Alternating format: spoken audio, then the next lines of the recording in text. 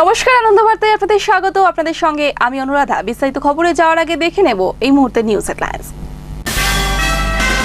Headlines রবিবার উত্তর দিনাজপুর জেলার খুচরো ও পাইকারি ওষুধ বিক্রেতাদের দ্বিতীয় কনভেনশন ও রক্তদান শিবির অনুষ্ঠিত হলো। বাস যাত্রী ভবনগুলি সংরক্ষণের বেনিয়মের অভিযোগ উঠল ঠিকাদারদের বিরুদ্ধে। রবিবার পূর্ব বর্ধমান জেলার ভাতারের বিভিন্ন জায়গায় শাসক দলের পক্ষ থেকে মিছিল সংঘটিত হলো। গ্রামের একটি অনুষ্ঠানে মদ খেয়ে গোলমাল করার প্রতিবাদ করায় প্রতিবাদী যুবককে মারধর করল মদ্যপ কিছু যুবক। রবিবার বাঁকুড়া জেলার গঙ্গাচলঘাটি বিহার জড়িয়া গ্রামে একটি সাহিত্য সভা অনুষ্ঠিত হল। অসহায় চার নাবালককে আশ্রয় দিল রায়গঞ্জ থানা। কানপুর হাটতলায় একটি অতিরিক্ত বালি বোঝায় লরি নিয়ন্ত্রণ হারিয়ে একটি দোকানে ঢুকে পড়ে। বীরভূম জেলার রামপুরহাটের গোপালপুরে যাওয়ার রাস্তাটি চলাচলের অযোগ্য হয়ে উঠেছে।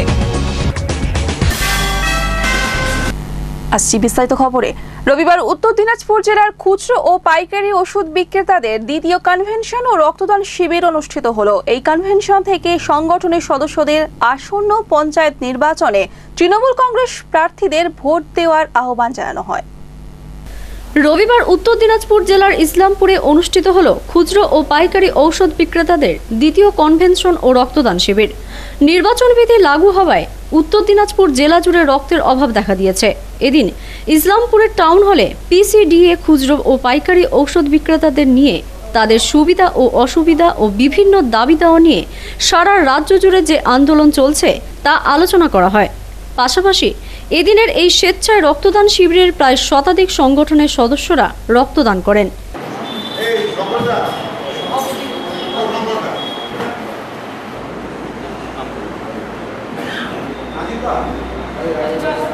ধন্যবাদ। আমাদের এই কনভেনশন থেকেই আগামী ত্রিস্তর পঞ্চায়েত নির্বাচনে রক্তের প্রতিটি জায়গায় তৃণমূল প্রার্থীদের ভোট দিয়ে জয়যুক্ত করার আহ্বান জানানো হয়।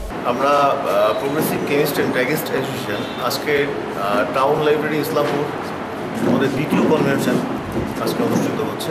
আপনারা জানেন, গত বছর আমরা এখানে প্রেস ক্লাবে উদ্বোধনটা করেছিলাম।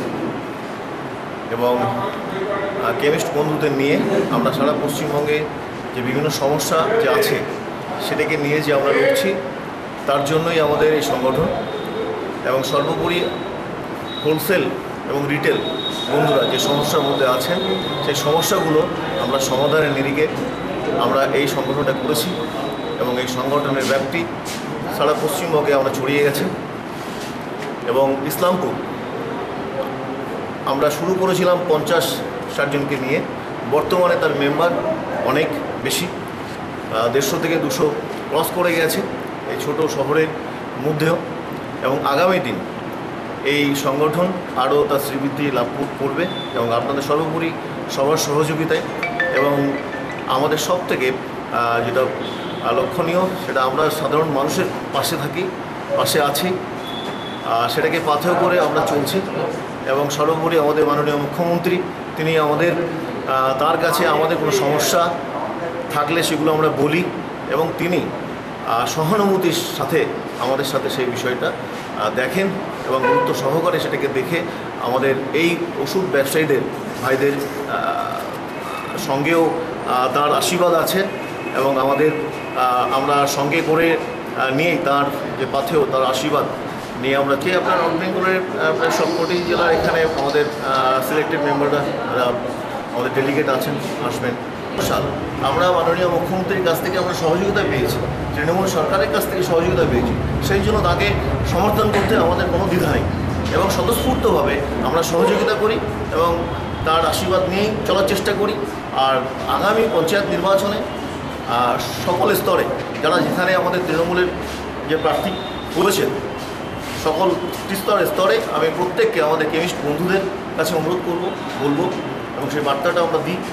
যে তারা যেন তৃণমূল কর্মীদের প্রার্থীদের যেন ভোট দিয়ে জয়যুক্ত উত্তর দিনাজপুর থেকে অনুপ জয়সওয়ালের রিপোর্ট আনন্দ বার্তা। চোখ রাখব পরবর্তী খবরে। বাসযাত্রী ভবনগুলির সংরক্ষণের বেনিয়মের অভিযোগ উঠল ঠিকাদারের বিরুদ্ধে। ঘটনাটি ঘটেছে গলসি এক নম্বর ব্লকের পঞ্চায়েতের বাসযাত্রী ভবনগুলিকে ঘিরে। বাসযাত্রী ভবনগুলি প্লাস্টার না করে রং করার অভিযোগ করলেন রামগোপালপুর গ্রাম পঞ্চায়েতের সদস্য। গলসি এক নম্বর ব্লকে পঞ্চায়েতের বাসযাত্রী ভবনগুলি সংরক্ষণের বেনিয়মের অভিযোগ করল ঠিকাদারের বিরুদ্ধে। অভিযোগ তুললেন, লোয়ার রামগোপালপুর পঞ্চায়েতের সদস্য শামসুন্নে মল্লিক তিনি বলেন, সংস্কার ও প্লাস্টার না করেই রং করা হচ্ছে। তিনি আরও জানান, কয়েকটি বাসযাত্রী ভবন রং করে দেওয়া হয়েছে।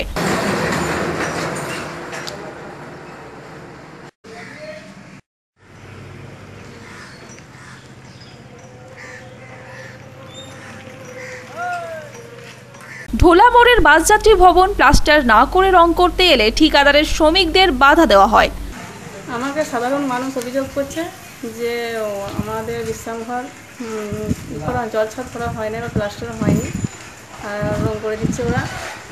তুমি তার জন্যে আমি এনএসকে জানিয়েছি যে, শিডিউল আমাদেরকে শিডিউলটা দিন, আমরা শিডিউল দেখে আমরা কাজটা ঠিকভাবে করাবো। তা শিডিউল আমাদেরকে দিয়েছে, তো শিডিউলে দেখছি আমি যে আমার প্লাস্টার, জল ছাদ সবই আছে। কিন্তু ওরা সেটা না করে ওরা চুন মেরে দিচ্ছিল বা তার জন্য আমরা কাজটা কাজটাকে বর্তমানে আমাদের যদি এইভাবে ঠিকঠাকভাবে কাজটা করে দেয় বা জলছাদ বা প্লাস্টার করে দেয় তাহলে আমরা ফের কাজটা আমরা কাজটা করছিল আমাদের কন্ট্রাক্টর আমরা তাকে এখন বন্ধ করে দিয়েছি। ওই জন্য বন্ধ করে দিয়েছি। তাকে নিয়ম মেনে কাজ করতে বলা হয়। এ বিষয়ে তিনি ওই পঞ্চায়েতের ইঞ্জিনিয়ারকে জানিয়েছেন। এলাকাবাসীরা এইরূপ কাজে তীব্র বিরোধিতা করেছেন। আমাদের এই বিশ্রাম ভবনটা প্লাস্টার না করে রং করা হয়েছে, ভালো করে তদন্ত করা হোক এবং ফের প্লাস্টার করে রং করা হোক। এটাই আমি বলি। এটা কে করেছে তা আমরা তো সঠিক জানি না, আমরা গলসি থেকে কৃষ্ণ সাহার রিপোর্ট আনন্দ বার্তা একশো দশ কিমি কুলিক নদীর পার পর্যবেক্ষণের কাজ শেষ করলেন এইচএমটিএ সদস্যরা। উত্তর দিনাজপুর জেলার এমতাবাদের পাহাড়পুর এলাকা থেকে তারা যাত্রা শুরু করেন।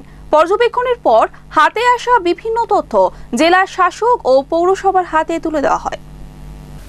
পায়ে হেঁটে চার দিন ধরে একশো দশ কিমি কুলিক নদীর পার পর্যবেক্ষণের কাজ শেষ করলেন এইচএমটিএ সদস্য ও সদস্যরা। গত উনিশে এপ্রিল উত্তর দিনাজপুর জেলার এমতাবাদের পাহাড়পুর এলাকা থেকে কুলিক নদীর পাত ধরে পদযাত্রা শুরু হয়।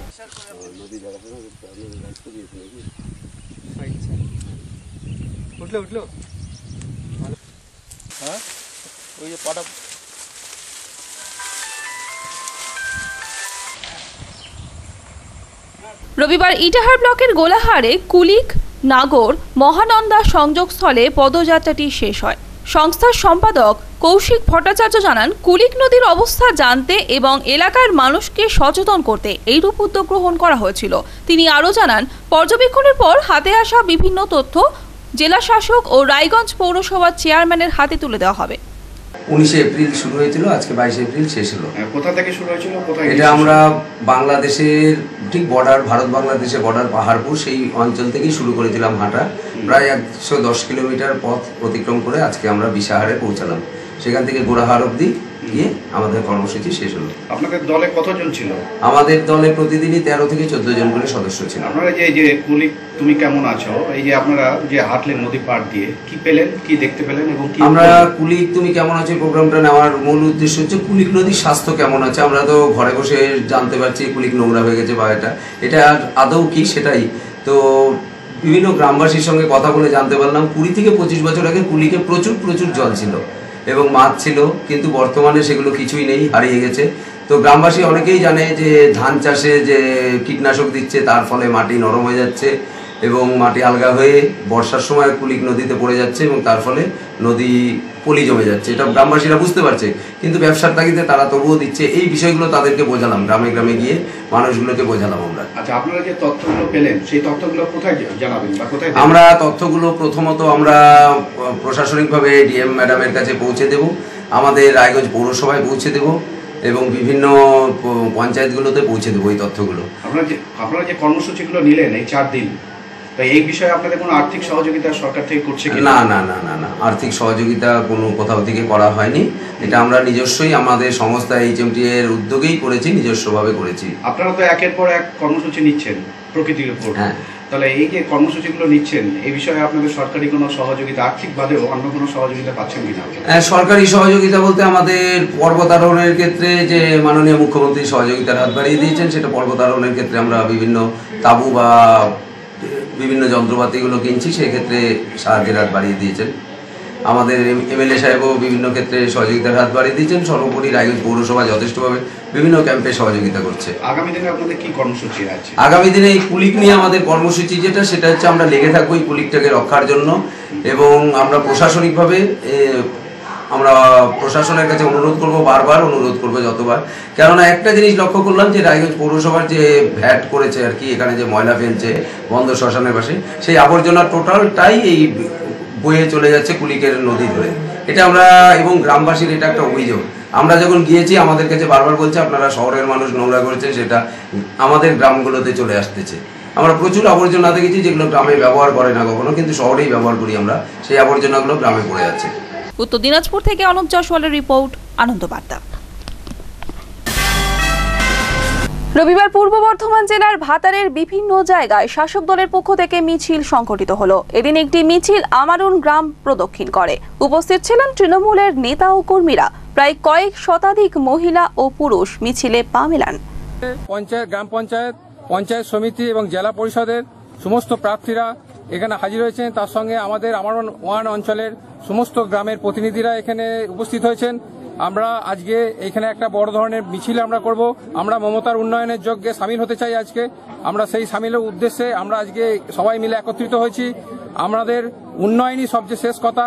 আমাদের মমতা ব্যানার্জিকে আমাদের এই যে গ্রাম পঞ্চায়েতের যে সমস্ত জায়গাগুলো আমরা পিছিয়ে আছি, সেই জায়গাগুলোকে আমাদের এগিয়ে নিয়ে যাওয়ার লক্ষ্যে আমাদের যে সমস্ত ক্যান্ডিডেটরা আছে তাদেরকে জয়যুক্ত করুন, তৃণমূলে জোড়া ফুল চিহ্নে ভোট দিয়ে তাদেরকে জয়যুক্ত করুন এবং আপনাদের সকলের আশীর্বাদে এবং মমতা ব্যানার্জির আশীর্বাদে আমরা আশা করব আমাদের সমস্ত প্রার্থীরা বিপুল ভোটে জয়লাভ করবে এবং আমাদের এই এমন এক নম্বর অঞ্চলকে এক নম্বর বর- পূর্ব বর্ধমান জেলার এক নম্বর পঞ্চায়েত করবে, এটাই আমাদের আশা এবং সেই আশাকে সামনে রেখে আমাদের এই সমস্ত গ্রামবাসীদের তরফ থেকে এবং এবং আমাদের এই প্রার্থীদেরকে যেন জয়যুক্ত করে, এটা আমাদের এই ইয়ে তলা থেকে আহ, হরিনাম তলা থেকে শুরু করে গোটা গ্রামটা ঘুরে আমরা আবার এখানে ফিরে আসব।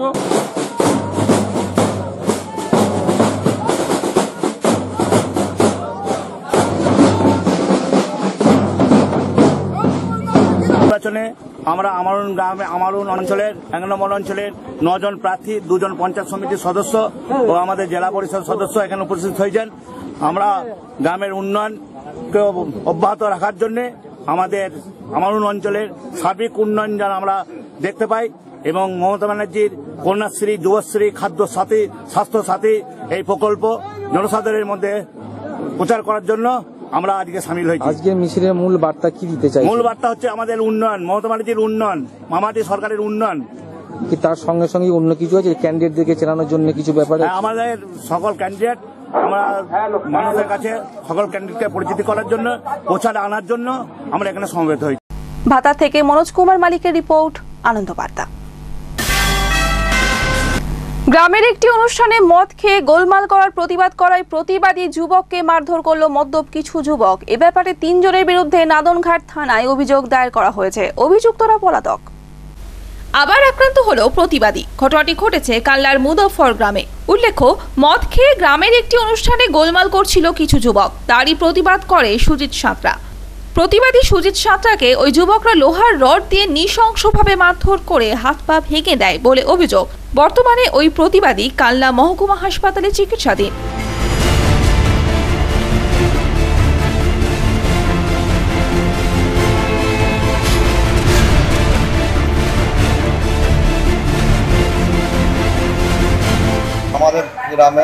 আমাদের বারোরের একটা অনুষ্ঠান হচ্ছিল। ভোজ করার করা ছেলে এসে মানে তারা মালটাল খেয়ে খুব ঝামেলা উত্তেজিত করছিল। আমি ওদেরকে বললাম, তোদের দেখার মন হয় তোরা দেখ, নাহলে এখানে ঝামেলা করিস না। নাহলে এবার তোরা এখান থেকে চলে যা। দিয়ে ওদেরকে চলে যেতে বললাম। এবার একটু ধস্তে ধস্তি হতে লাগল আমার সঙ্গে, এই তুই বারণ করবি কেন? হ্যাঁ আমরা করছি, বেশ করছি। হ্যাঁ তোদের কি? হ্যাঁ তোদের আমার পাড়ায় এসে আমাদের করে একটা কথা বলছে। ওই জন্য আমি ওদেরকে বলি তোরা দেখার মনে হয় দেখ নাহলে তোরা চলে যা। এই বলে ওরা চলে গেলে বলে তোকে আমি দেখে নেব। দিয়ে আমি কালকে পাটের জন্য দিয়ে কাঠ নিয়ে দিচ্ছিলাম বিকালবেলায় গিয়ে ওরা আমাকে তিন চারজনা মিলে মারল কি দিয়ে লোহার রড দিয়ে। মানে কি হয়েছে আপনার? তারপরে কি? আমার ওই তো হাত ভেঙে দিয়েছে পা ভেঙে দিয়েছে। থানা কি অভিযোগ জানিয়েছেন? হ্যাঁ থানাকে অভিযোগ জানিয়েছি। এ ব্যাপারে তিনজনের বিরুদ্ধে নাদনঘাট থানায় অভিযোগ দায়ের করা হয়েছে। অভিযুক্তরা পলাতক। পুলিশ ঘটনা তদন্ত শুরু করেছে। কানলা থেকে রাজকুমার ঘোষের রিপোর্ট, আনন্দ বার্তা। ফেলাম বিরতির পর, রবিবার বাঁকুড়া জেলার গঙ্গাজল ঘাটি বিহার জুড়িয়া গ্রামে একটি সাহিত্য সভা অনুষ্ঠিত হলো। সারা ভারত রাইটার্স গিল্ডের উদ্যোগে সভাটি অনুষ্ঠিত হয়। উপস্থিত কবিরা স্বরচিত কবিতা পাঠ করেন। সারা ভারত রাইটার্স গিল্ডের উদ্যোগে রবিবার বাঁকুড়া জেলার গঙ্গাজল ঘাটি বিহার জড়িয়া গ্রামে একটি সাহিত্য সভা অনুষ্ঠিত হলো। সম্মাননা প্রদান, কবিতা, গানের মাধ্যমে সাহিত্য সভাটি মুখরিত হয়ে ওঠে। আমরা।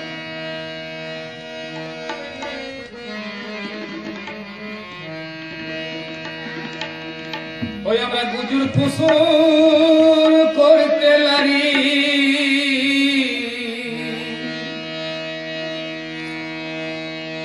আরে সোজা কথা বলি।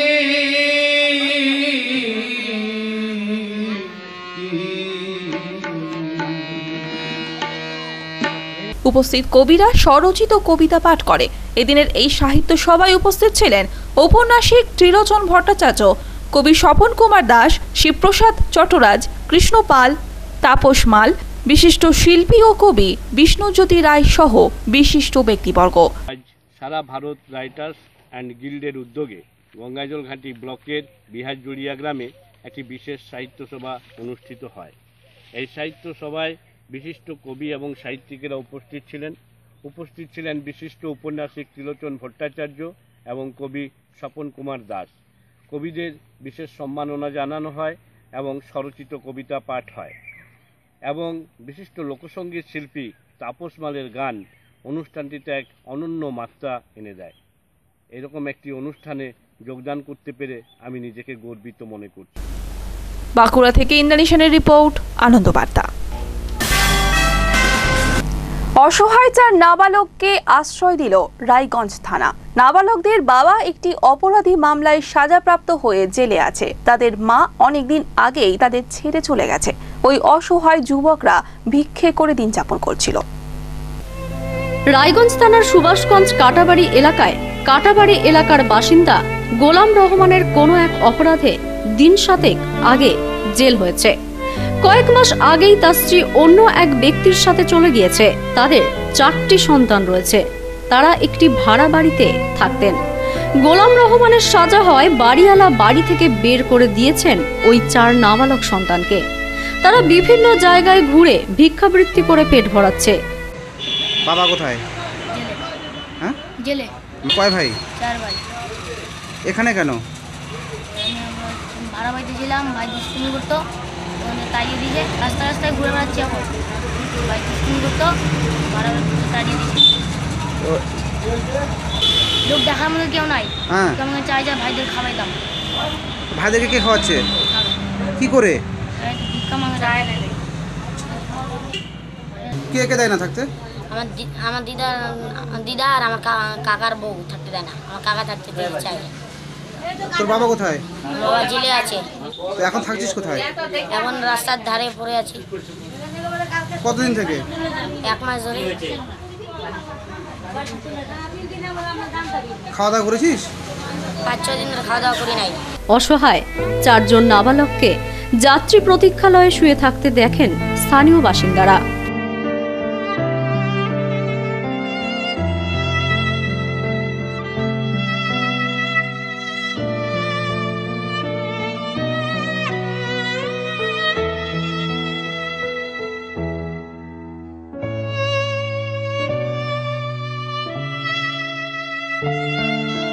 হঠাৎ আমি কারখানাতে কাজের থেকে আসলাম।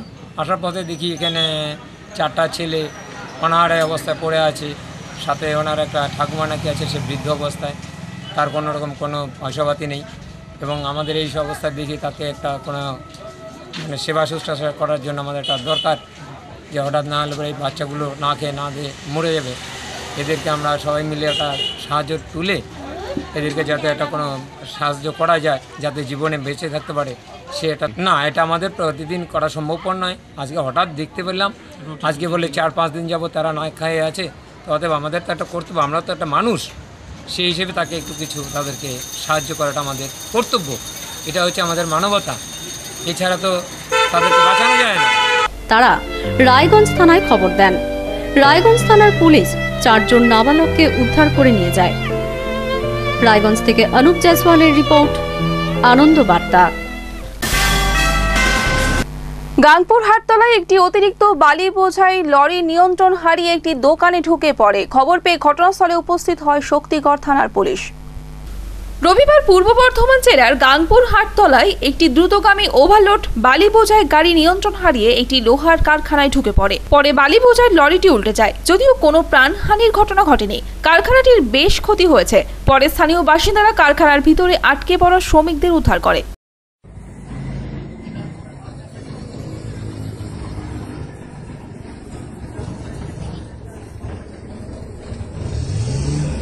খবর পেয়ে ঘটনাস্থলে ছুটে আসে শক্তিগড় থানার পুলিশ।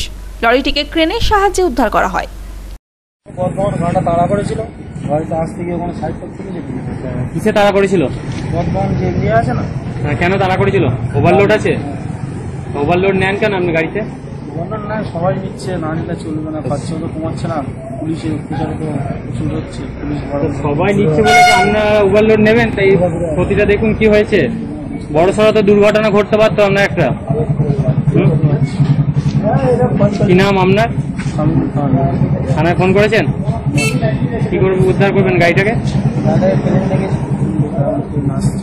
কানপুর থেকে অর্ঘ্য ব্যানার্জির রিপোর্ট আনন্দ বার্তা বীরভূম জেলার রামপুরহাটের গোপালপুরে যাওয়ার রাস্তাটি চলাচলের অযোগ্য হয়ে উঠেছে। এই রাস্তার ওপরে রয়েছে একটি স্বাস্থ্য কেন্দ্র রাস্তা খারাপ হওয়ার ফলে নিত্যদিন যানজটের সৃষ্টি হচ্ছে। রাজগ্রাম থেকে গোপালপুর যাওয়ার রাস্তার বেহাল দশা। স্থানীয় সূত্রে জানা গেছে, বীরভূম জেলার রামপুরহাটে এই রাস্তার মাঝখানে গর্ত হয়ে গেছে। এর ফলে রাস্তা সংকীর্ণ হয়ে যানজট তৈরি হচ্ছে। বর্ষার আগে এই রাস্তার কাজ হওয়ার কথা থাকলেও এখনও তা হয়নি। এই রাস্তার ওপরেই পড়ে রাজগ্রাম উপস্বাস্থ্য কেন্দ্র। যানজটের ফলে রোগী নিয়ে যেতে কষ্ট হয় তার পরিবারবর্গের।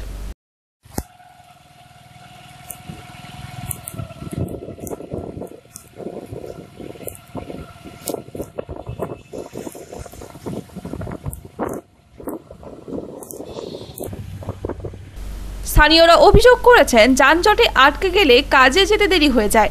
রাস্তার বেহাল অবস্থার জন্য মাঝে মাঝেই ছোট বড় দুর্ঘটনা ঘটছে। এলাকাবাসীরা প্রশাসনের কাছে অভিযোগ জানালেও কোনো কাজ হয়নি। স্থানীয়রা বলেন এখন দেখার এই রাস্তার কাজ কবে শুরু হয়?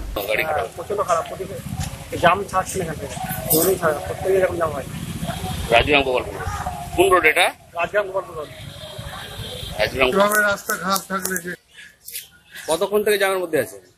ঘণ্টা তিনেক। রা- জাম কেন? রাস্তা খারাপ। রাস্তা খারাপ এটা কোন রাস্তা এটা? Hospital road emergency road. Rajgram Gopalpur Birbhum থেকে সৌতিক চক্রবর্তী রিপোর্ট আনন্দ বার্তা ফিরে এলাম বিরতির পর।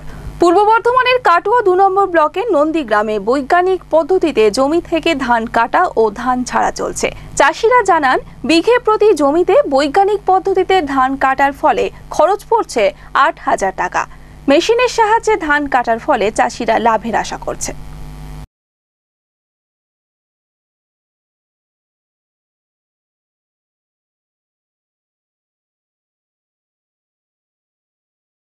কাটোয়া থেকে রাহুল রায় রিপোর্ট আনন্দ বার্তা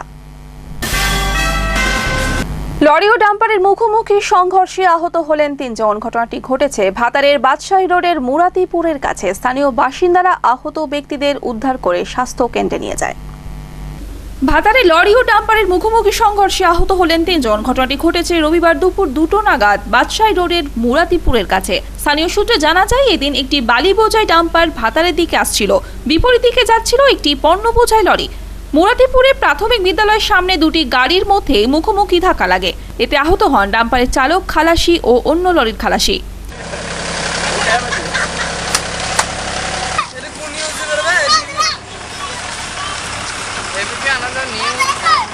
স্থানীয় মানুষজন আহত ব্যক্তিদের উদ্ধার করে স্থানীয় স্বাস্থ্য কেন্দ্রে নিয়ে যায়। এলাকাবাসীদের অভিযোগ বাদশাহী রোডের ওই এলাকাটি দুর্ঘটনা প্রবণ কিন্তু প্রশাসনের কোনো নজরদারির ব্যবস্থা নেই।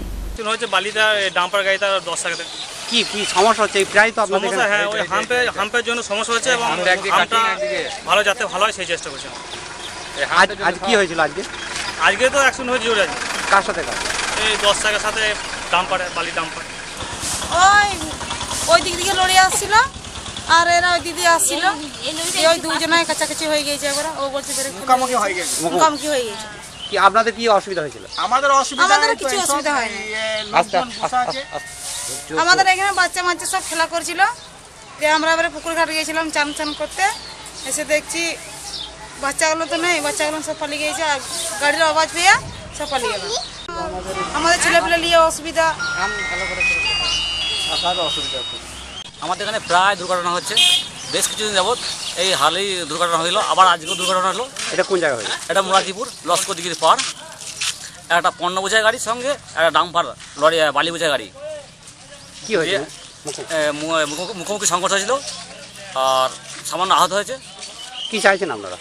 হামগুলো যাতে ভালো করে চলে দেওয়া হয় চলে দেওয়া ভালো করে বা হাম ভালো হাম করা হয়। রাস্তা ক্লিয়ার চাইছি। বেশ কয়েকবার কি অ্যাক্সিডেন্ট হয়েছে হ্যাঁ, হ্যাঁ, হ্যাঁ। কজন মারা গেছে? প্রায় ছজন। ভাতা থেকে প্রতীক্ষিত দাস বৈরাগ্য ও মনোজ কুমার মালিকের রিপোর্ট আনন্দ বার্তা খড়গচণ্ডী মায়ের পুজো উপলক্ষে পূর্ব মেদিনীপুরে একটি স্বেচ্ছায় রক্তদান শিবির ও বিনামূল্যে স্বাস্থ্য পরীক্ষা শিবিরের আয়োজন করা হয়।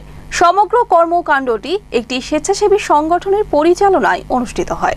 প্রদীপ প্রজ্বলনের মধ্যে দিয়ে অনুষ্ঠানের সূচনা হয়। পূর্ব মেদিনীপুরে খড়গচণ্ডী মায়ের পুজো উপলক্ষে একটি স্বেচ্ছায় রক্তদান শিবির ও বিনামূল্যে স্বাস্থ্য পরীক্ষা শিবিরের আয়োজন করা হয়।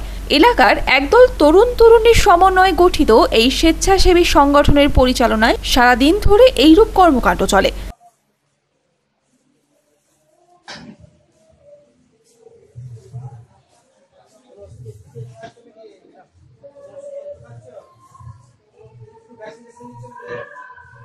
শিশু, যুবক, মহিলা, বৃদ্ধ সকলের উপস্থিতি ছিল চোখে পড়ার মতো। প্রদীপ প্রজ্বলনের মধ্যে দিয়ে অনুষ্ঠানের সূচনা হয়। উপস্থিত ছিলেন এলাকার কাউন্সিলর অতনুগিরি অরুণ দাস, সুমিত জানা, কাঁথি সারদা আশ্রমের সম্পাদক তপন কুমার দাস সহ বিশিষ্ট ব্যক্তিবর্গ। পরে ওই স্বেচ্ছাসেবী সংস্থার পক্ষ থেকে একটি সাংস্কৃতিক অনুষ্ঠানের আয়োজন করা হয়।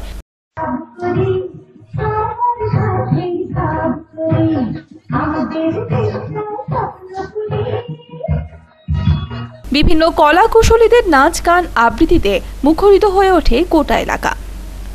পূর্ব মেদিনীপুর থেকে তুহিন শুভ্র আগমনের রিপোর্ট, আনন্দবার্তা। পূর্ব বর্ধমান জেলার মহাচাঁদা রথতলা, রাধাকৃষ্ণ মন্দির প্রাঙ্গণে হরি গুণানু কীর্তন মহা মহোৎসব অনুষ্ঠিত হচ্ছে। এছাড়াও মহাযজ্ঞের আয়োজন করা হয়। নবদ্বীপ থেকে মহাপ্রভুর পাদুকা আনা হয়েছে। এদিন এই এলাকার পাশাপাশি অন্যান্য জায়গা থেকেও প্রচুর মানুষ উপস্থিত ছিলেন।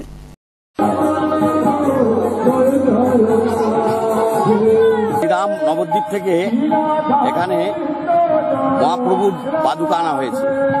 যে পাদুকা নবদ্বীপের শ্রীরাম মন্দিরে রাখা ছিল, মহাপ্রভু যখন সন্ন্যাস নেন, তখন ওই পাদুকা অর্থাৎ খরম বিষ্ণুপ্রিয়ার কাছে রেখে গিয়েছিলেন। এবং বিষ্ণুপ্রিয়া কাছে রেখে গিয়েছিলেন এবং বিষ্ণুপ্রিয়াকে বলেছিলেন যে এই খরমের মধ্যে আমি আছি।